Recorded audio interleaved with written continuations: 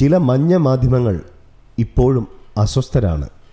കാരണം മറ്റൊന്നുമല്ല ഒരു സമയത്ത് സകല മാധ്യമങ്ങളും തരാതരം പോലെ ഭാവനയും നുണകളും പൊടിപ്പും തൊങ്ങലുകളും ചേർത്ത് മാസങ്ങളോളം ആഘോഷിച്ചിരുന്ന ഒരു പ്രമാദമായ കേസിന്റെ നിരന്തര ചർച്ചകൾ ഇന്ന് മാധ്യമങ്ങൾ മറന്നിരിക്കുന്നു. അവർ പതിവ് പോലെ ചാനൽ റേറ്റിംഗ് ലക്ഷ്യം വെച്ച് ഏറ്റവും പുതിയ വിവാദങ്ങൾക്ക് പുറകെയാണ്. പ്രതിദിനം മുമ്പിൽ നിന്ന് പിന്നോട്ടും പിന്നിൽ നിന്ന് മുന്നോട്ടും ഇടത്തുനിന്ന് വലത്തോട്ടും വലത്തുനിന്ന് ഇടത്തോട്ടും മുകളിൽ നിന്ന് താഴോട്ടും താഴെ നിന്ന് മേലോട്ടും ചർച്ച നടത്തി മതിയാവാതെ.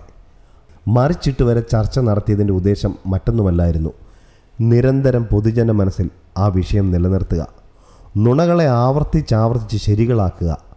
എന്നാൽ കേസിലെ കുറ്റാരോപിതന് ജാമ്യം ലഭിക്കുകയും കുറ്റപത്രം സമർപ്പിക്കുമ്പോൾ എഴുതി ചേർക്കാൻ വ്യക്തമായ യാതൊരു തെളിവുമില്ലാതെ കേരള പോലീസ് നെട്ടോട്ടമോടുകയും ചെയ്തതോടെ ചില നിക്ഷിപ്ത താൽപ്പര്യക്കാരായ സാമൂഹ്യദ്രോഹികളുടെയും മലിനമാധ്യമക്കാരുടെയും കൂട്ടായ അജണ്ടയനുസരിച്ച് ആളിക്കത്തിച്ച ഈ പരദ്രോഹ പരമ്പര അവസാനിപ്പിക്കേണ്ട ഗതികേടിലായി മാധ്യമങ്ങൾ. പറഞ്ഞു വരുന്നത് ബിഷപ്പ് ഫ്രാങ്കോക്കെതിരെയുള്ള പീഡന കേസിനെക്കുറിച്ചാണ്. എന്നാൽ ചില മഞ്ഞ ഓൺലൈൻ മാധ്യമക്കാർക്ക് ആഴ്ചയിലൊന്നെങ്കിലും ബിഷപ്പ് ഫ്രാങ്കോക്കെതിരെ എന്തെങ്കിലും പറഞ്ഞില്ലെങ്കിൽ ഉറക്കം വരില്ലത്രേ.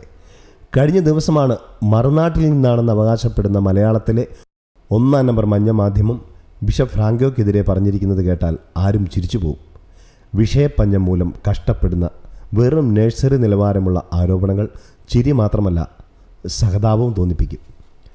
ജാമ്യത്തിലിറങ്ങി ജലന്ധറിലെ ബിഷപ്പ് ഹൗസിൽ വിശ്രമവും പ്രാർത്ഥനയുമായി കഴിയുകയായിരുന്നു ബിഷപ്പ് ഫ്രാങ്കോ. പഞ്ചാബിലെ ജനങ്ങളും രൂപതയിലെ വൈദികരും സന്യസ്തരും പുതിയ അഡ്മിനിസ്ട്രേറ്ററും എല്ലാം വളരെ ഊഷ്മളമായ സ്വീകരണമായിരുന്നു തിരികെ വന്ന പിതാവിന് നൽകിയത്. തുടർന്ന് അദ്ദേഹം ബിഷപ്പ് ഹൗസിൽ തന്നെ താമസിക്കുകയായിരുന്നു.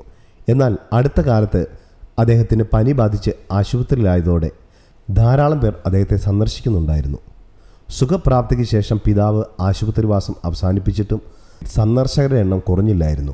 ഇത്രയും ആളുകൾ രൂപത ആസ്ഥാനത്തേക്ക് നിരന്തരം കടന്നു വന്നാലുണ്ടാകുന്ന ബുദ്ധിമുട്ടുകൾ മനസ്സിലാക്കിക്കൊണ്ട് പിതാവ് തന്നെ തന്റെ കോൺഗ്രിയേഷനായ എഫ് എം ജെയുടെ ആസ്ഥാനമായ പ്രതാപുരയിലെ ഹൗസിലേക്ക് താമസം മാറി.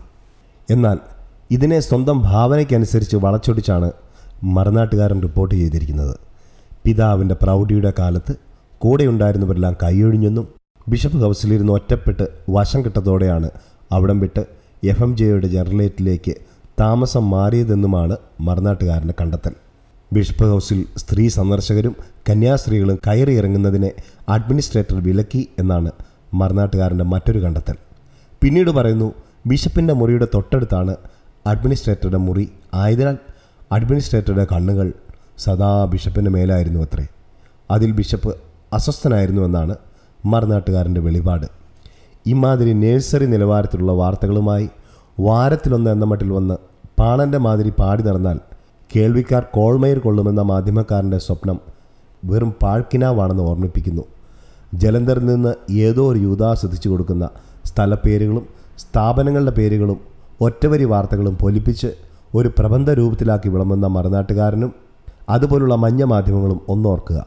ഒരിക്കലും തിരിച്ചു കടിക്കാത്ത കത്തോലിക്കരെ ആക്രമിച്ചാക്രമിച്ച് ഒരു ദിവസം തിരിച്ചു കടിക്കുന്ന ഇനത്തിനെ കയറി അറിയാതെയാണെങ്കിലും ആക്രമിച്ചാൽ അന്ന് തീരും മാധ്യമപ്രവർത്തനം എന്ന പേരിലുള്ള ഈ പരദൂഷണ പ്രവർത്തനം.